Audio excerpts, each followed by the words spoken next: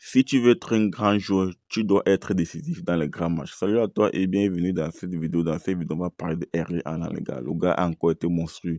Il a fait un très bon match. Il est sorti homme du match MVP.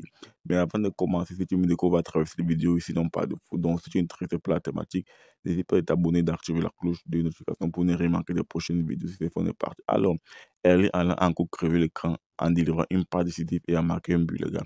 En première période, c'est lui qui décrochait, c'est lui qui venait chercher le ballon quand son équipe était un peu en difficulté. Donc, il a vraiment fait.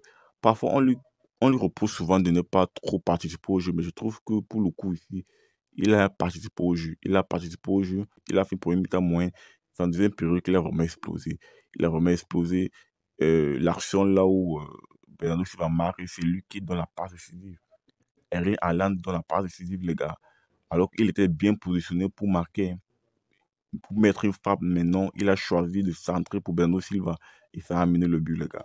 Alan, je ne sais pas si c'est Pep Guardiola qui l'a fait progresser dans cet aspect, mais Alan, c'est un joueur qui s'implique de plus en plus au collectif.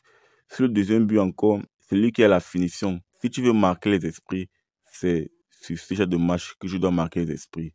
Les grands matchs de Ligue des Champions. Si prétend gagner le ballon d'or, c'est sur ce genre de match qu'il doit prendre les points pour remporter le ballon d'or. Donc, un grand joueur doit être décisif dans les grands matchs et Erling Haaland l'a fait. Erling Haaland a été au rendez-vous face au Bayern.